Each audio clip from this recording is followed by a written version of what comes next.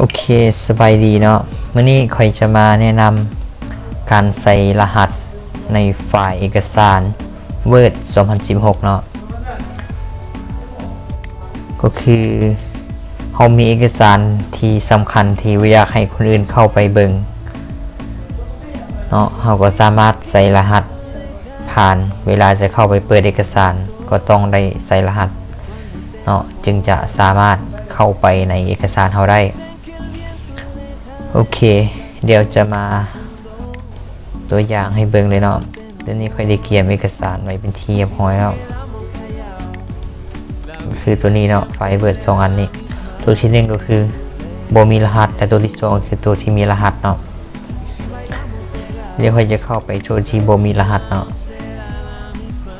โอเคก็ประมาณนี้เนาะ มีรหัสก็เข้าไปได้ปกติ แต่สำหรับตัวที่มีรหัส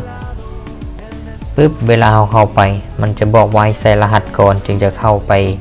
อ่านเอกสารตัวนี้ได้เราก็ต้องใส่รหัส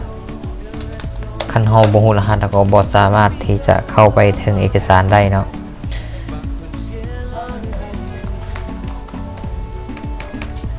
หลังจากนั้นก็โอเค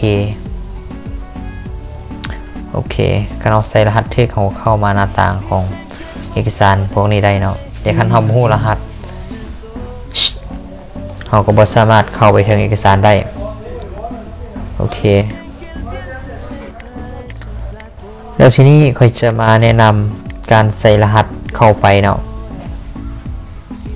โอเค จะใส่รหัสเข้าไปก็เปิดไฟเอกสารที่เราต้องการใส่รหัสทันเลย แล้วจอมเบิ่งขั้นตอนในการที่จะใส่รหัสมีขั้นตอนคือแนวใดเนาะ โอเคจะมาเบิ่งขั้นตอนเนาะสำหรับขั้นตอนในการใส่รหัสใน Word 2016 เลยเนาะก็บ่มีอย่างไรเนาะก็มีประมาณนี้แหละ4ขั้นตอน ขั้นตอนที่ 1 ก็คือให้เข้าไปที่ไฟล์ ขั้นตอนที่ 2 ก็คือให้เข้าไปที่ info แล้วก็ขั้นตอนที่ 3 ก็คือให้เข้าไปที่ protect document นี้ แล้วก็ขั้นตอนที่ 4 ก็คือเข้าไปที่ encrypt with password ตัวนี้เนาะ encrypt with password นั่นจะมีอยู่ 4 ขั้นตอนหลักๆ โอเค แล้วเราจะเข้าไปใน Word เบิ่งแต่ละขั้นตอนเลย ขั้นตอนที่1ก็คือเข้าไปไฟล์ ขั้นตอนที่2ก็คือเข้าไปที่ info ขั้นตอนที่3ก็คือเข้าไปที่ protect document ขั้นตอนที่4ก็คือเข้าไปที่ encrypt with password หลังจากนั้นมันจะขึ้นมาหน้าต่างให้ใส่รหัสเลยเนาะ หลังจากนั้นเราก็มาใส่รหัส ตัวนี้ก็จะตัวอย่างเป็น 1 2 3 แล้วก็โอเค มันจะบอกให้ยืนยันรหัสตัวเก่าเมื่อกี้อีกเนาะอีกทีหนึ่งเราก็ยืนยันเข้าไป 1 2 3 แล้วก็โอเค โอเค หลังจากนั้นเราจะมาสังเกตเบื้องจุดนี้เนาะ เห็นว่ามันจะมีกุญแจตัวนี้เนาะเจนี่แล้วก็สี ตึงเรืองเข้มขึ้นในหนึ่งแปลว่าเราได้เซตรหัสให้กับเอกสารตัวนี้เป็นที่เรียบร้อยแล้ว หลังจากนั้นก็กดเซฟก็ปิดออกเลยเนาะโอเคแล้วค่อยจะเข้าไปเบิ่งอีกเทื่อหนึ่ง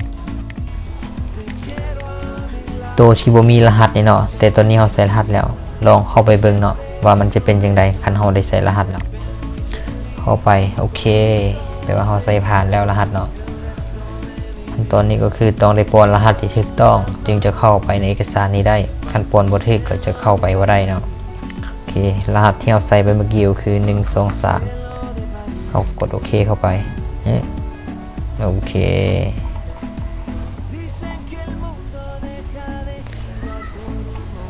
โอเคสำหรับคลิปนี้เนาะก็จะขอจบคลิปเพียงเท่านี้ อย่าลืมกด ติดตามช่อง YouTube ของเฮียนไอที แล้วก็ Facebook ของเฮียนไอที เพื่อบอพลาดคลิปใหม่ๆเนาะ